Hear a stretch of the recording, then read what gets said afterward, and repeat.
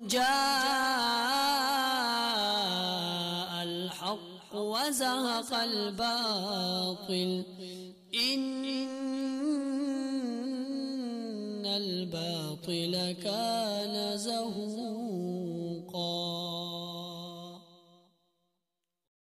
بسم اللہ الرحمن الرحیم السلام علیکم ورحمۃ اللہ وبرکاتہ محترم سامعین، آج صبح سے شیخ الاسلام حضرت مولانا مفتی تقی عثمانی صاحب دامت برکاتہم العالیہ کا ایک فتویٰ زیر گردش ہے۔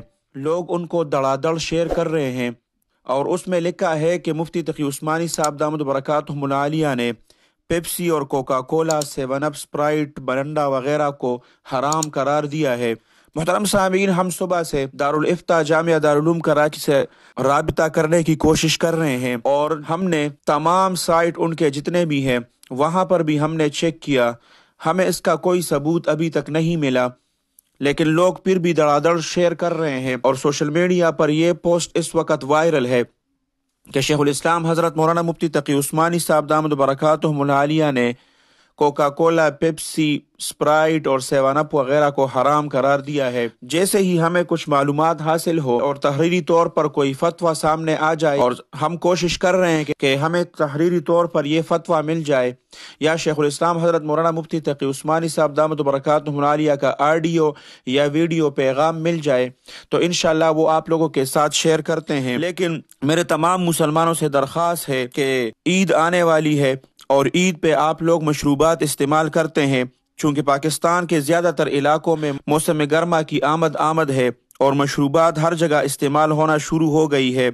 تو آپ لوگوں سے درخواست ہے، اس عید پر کم از کم فلسطینیوں کے ساتھ یکجہتی کرے اور پیپسی اور Coca Cola Seven Up, Sprite اور جتنے بھی اسرائیلی مصنوعات ہیں، ان سے بائیکاٹ کرے اور ہر گز ان کو استعمال نہ کرے کیونکہ جب آپ لوگ ایک پروڈکٹ استعمال کرتے ہیں اور ایک سو پچاس اور دو سو روپے کا آپ خریدتے ہیں، تو ان میں سے بیس اور تیس روپے وہ وہاں پر فلسطینی مسلمانوں کے خلاف استعمال ہوتا ہے۔ اس لیے آپ لوگوں سے درخواست ہے کہ اس عید پر جو بھی آپ خریداری کرتے ہیں، کم از کم یہ مشروبات عید کے موقع پر ہر گھر میں، ہر جگہ پر بے دریغ استعمال ہوتا ہے۔ تو اس سے پرہیز کریں، پاکستانی مشروبات استعمال کریں۔ گورمے کا استعمال کریں۔ بالکل اس کے مقابلے کے مشروبات ہیں۔ اس کا سارا فائدہ بھی پاکستان کو ہوگا۔ اور کچھ نہیں کر سکتے تو یہ ان کے خلاف جو چیزیں استعمال ہو رہی ہے اور ان کے خلاف جو پیسوں سے بارود خریدا جا رہا ہے، ان پیسوں کا روکتام تو ہم کر سکتے ہیں۔ اللہ سبحانہ و تعالی فلسطین کی مسلمانوں کی حفاظت فرمائے۔ اللہ سبحانہ و تعالی ان کی غیبی مدد فرمائے۔ اور اللہ سبحانہ و تعالی شیخ الاسلام حضرت مولانا مفتی تقی عثمانی صاحب دامت برکات عالیہ کا سایہ ہمارے سروں پر تادیر قائم اور دائم رکھے۔ اور آپ لوگوں کو ایک بار پھر بتاؤں کہ جیسے ہی ہمیں فتویٰ موصول ہوتا ہے یا آڈیو یا ویڈیو موصول ہوتا ہے، تو پھر آپ لوگوں کے ساتھ وہ شیئر کریں گے انشاءاللہ۔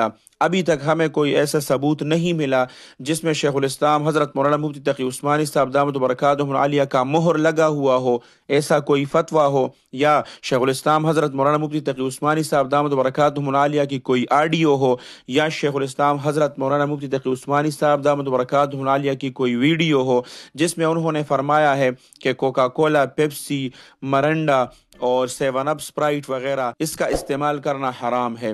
جیسا ہی ہم لوگوں کو معلومات حاصل ہوگی، ہم آپ لوگوں کے ساتھ شیئر کریں گے۔ اللہ سبحانہ و تعالی آپ سب کو اپنے حفظ اور امان میں رکھے، اپنے خصوصی دعاؤں میں یاد رکھے۔ السلام علیکم ورحمۃ اللہ وبرکاتہ۔ جاء الحق وزهق الباطل۔ إن الباطل كان زهوقا.